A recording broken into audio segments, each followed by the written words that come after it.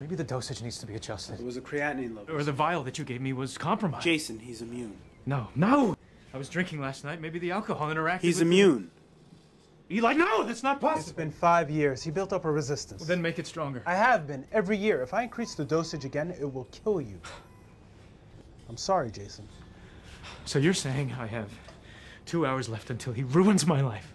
I saw him. I saw the look in his eyes. He wants revenge.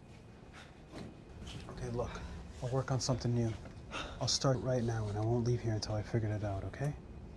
But Jason, what are you gonna do about tonight?